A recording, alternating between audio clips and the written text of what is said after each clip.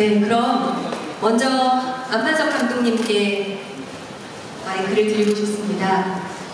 감독님이 지금 분주히 네, 말씀하실 거 준비하시는 것 같은데요. 먼저 그리고 한지민 씨, 정예리 씨도 인사해 주시고 간단한 배역 소개까지 부탁드릴게요. 네, 안녕하세요. 저는 북밤에서 어, 도서관 사서 이정인 역할을 맡은 한지민입니다. 먼저 이렇게 자리해 주셔서 너무 감사드리고요. 제가 맡은 이정인이라는 캐릭터는 음, 굉장히 솔직하고 어, 진취적인 그런 인물이에요. 어, 자기가 원하는 삶을 살아가는 게 가장 중요한 그런 가치인 어, 캐릭터이고요.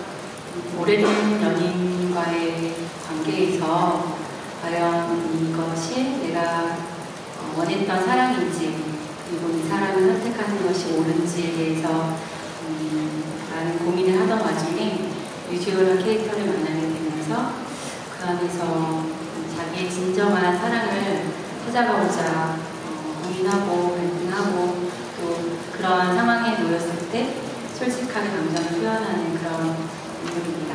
들어왔던 지점은요. 어, 물론 많은 장르의 드라마들이 있지만 어, 이 국밤이라는 드라마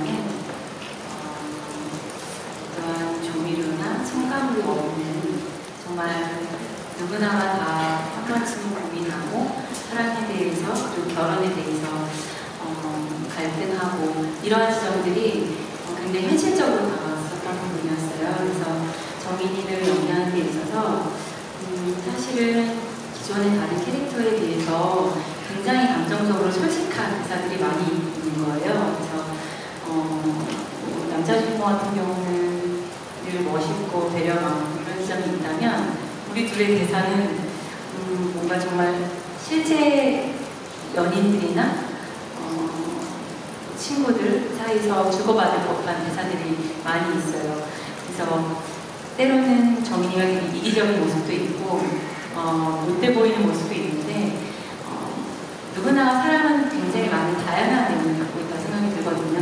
겉으로는 음, 안 그런 척, 더 과한 척 하지만 또 사람 앞에서는 굉장히 또 솔직할 수밖에 없는 모습들이 정인이한테 많이 있어서 어, 그런 부분에 있어서 제가 정인이한테 많이 음, 표현을 잘 하려고 노력하는 있어요.